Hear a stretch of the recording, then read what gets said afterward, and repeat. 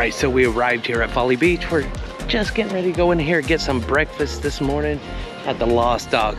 Apparently they have like all day breakfast. Let's go check it out.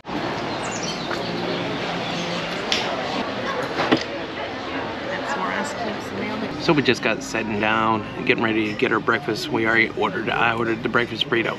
Little word of advice if you're coming here to Folly Beach and they have an outdoor setting, it, which is, you, you almost want to sit outside because you're out there, you're out here on the beach in the coastal area and stuff like that. But the biggest problem with that is there are tons of gnats everywhere and they just run up your nose. So keep that in mind if you're coming to a restaurant and you're gonna sit outside at Folly Beach. All right, so the food just came. I'm gonna show you this. It looks amazing. Went with the breakfast burrito and the children went with sausage, egg, and cheese croissant, which looks pretty massive. Then the wife went with the French toast. All right, let's dig in and see how good this is. Like I said, the bugs were sitting outside. The bugs are getting me. All right, let's try this. Let's try this bad boy out. Oh my gosh. Oh, big boy bite.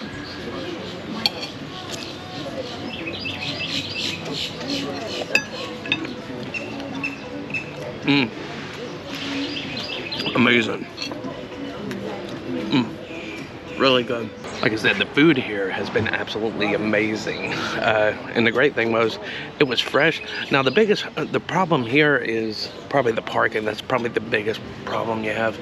It's because there's not much, many places park. But what we did is we went to the public parking, paid like $10 for all day parking, which isn't bad, especially on the beach. Went there, just walked over here probably the easiest approach to get there. But definitely recommend it. All right, so we just got done with breakfast. And, and, let me tell you, the Lost Dog was amazing. So if you're ever in the Folly Beach area, but you probably are because you're checking out this video, but if you are, make sure you hit up that place. They got a lot of good breakfast food options. And they also sell lunch and dinner. I imagine it's pretty good. But right now we're here early at the beach. So a lot of the places aren't open yet but we're doing a whole day here, so we're gonna find out what Folly Beach is about. What's up, guys? Hey, don't, don't go away from the video. I got something to say. If you are watching this video, you're probably watching something to do about Charleston. And I decided to partner up with Tour Pass. And what they do is they put a whole bunch of tours together. You pay one set fee and you can go to featured tours and you can also go to uh, exclusive tours, which what it is is you get to pick so many for so many days. However many days you're staying in Charleston, you can just go down and click the link down below and you can check out Tour Pass for yourself. Now I do get paid a small commission when you do make a purchase, but I wanted to say I decided to put the link down here so you guys can check out Tour Pass because I actually use Tour Pass when I went on my trip to Charleston and everything that you're seeing in these videos is from me doing the tour pass. So what I wanna say is, if you wanna have a good time at Charleston, I would recommend getting the tour pass. I would have recommended this even without the affiliate link, but since I was gonna be recommending anyway, I decided to do the affiliate program so you could also see the exact same tour that I did. Like I said, Tour Pass is a great product. I used it when I went to Charleston had a great time,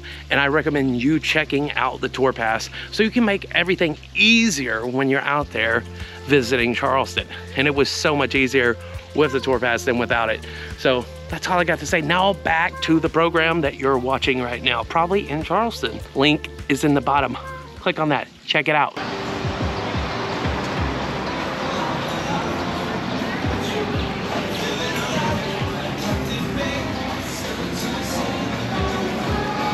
So I actually thought I'd just show you right here where our parking lot is. It's actually right here.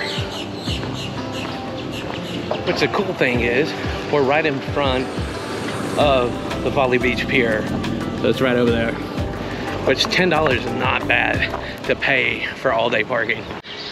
So like I said, if you're stand if you go into that parking spot that I told you that was like $10, then right across the street right here is Folly Beach Pier that you can check out.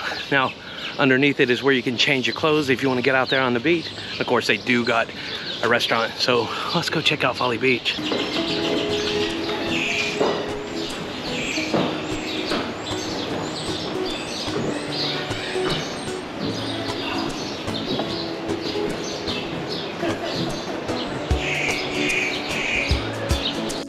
So we are on the pier getting into our first glimpse of the beach man. As Bob Marley would say. Let's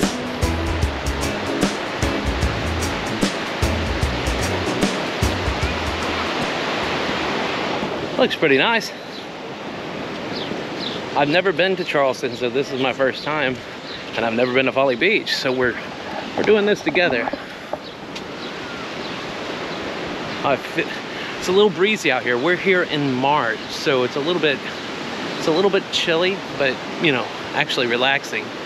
We're getting ready to get attacked by some birds. Looks like they Looks like Folly Beach has those wild, crazy birds too. But it actually feels nice. I assume the water is freezing. I don't know when you're seeing this, but I just recently went to Savannah and checked out the water and it was and it was rather freezing in March, so it's probably the same here. I think they got a cold front coming in here while we're here, so you can imagine. Sharpen these hooks metal metal pads I got.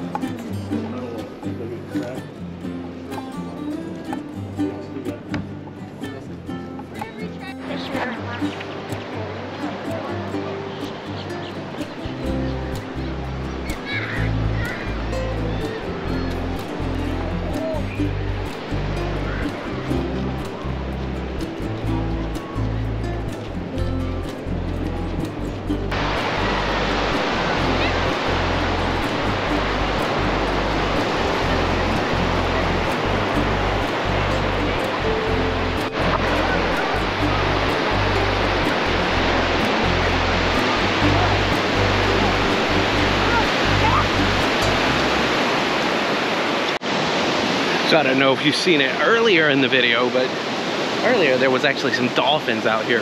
Actually, the closest I ever seen dolphins on the beach. So that's, if you're in Charleston and you want to check out dolphins, maybe Folly Beach is the best place. Uh, at least that I've been to. They, I mean, literally they was right up there on the wave. So, I mean, wasn't bad at all. So far, I'm enjoying Folly Beach.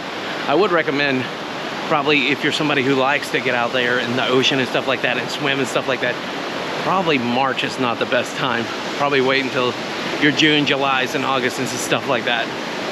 But other than that, it's been pretty good. And it looks nice.